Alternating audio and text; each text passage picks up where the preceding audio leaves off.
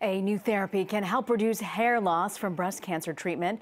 The technique is called cold caps and it's been used for decades in Europe, but it's almost unknown here. Barry Petersen shows us how it works and why some patients say it's worth the cost and the effort. So this one takes an hour. There's nothing unusual about the chemotherapy drugs Mary Nell Wolf is getting at this Denver clinic. You want to do your chin strap? What's unusual is on her head, a cold cap, chilled with dry ice to 30 below. As it warms, a new one is strapped on tightly every 20 to 30 minutes. This goes on for eight hours. It's not really pain. It is an overall feeling of, I just want this off my head.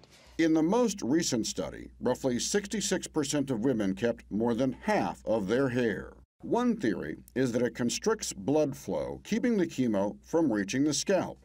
Another is that it freezes many of the hair follicles and the chemo is simply shut out. There are concerns that blocking the chemotherapy could let cancer spread to the scalp. Is it working? It is working. Um, I have the majority of my hair. She gets moral support from her husband. Yes, that's me. We are together on this journey. Why is maintaining your hair important to a woman?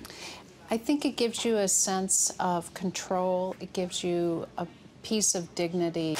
Using these caps can cost a patient several thousand dollars out of pocket because they are rented by the month. This version circulates coolant through one cap called DigniCap.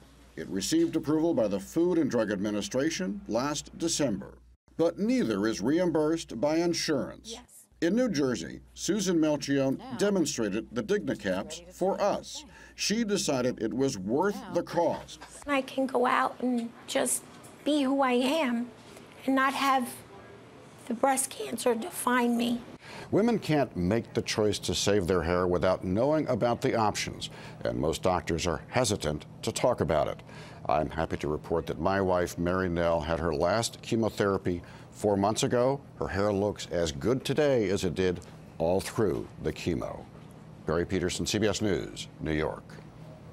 And Barry also tells us that cold caps don't work for all chemo drugs, and they also don't work for cancers that are carried through the blood, like leukemia.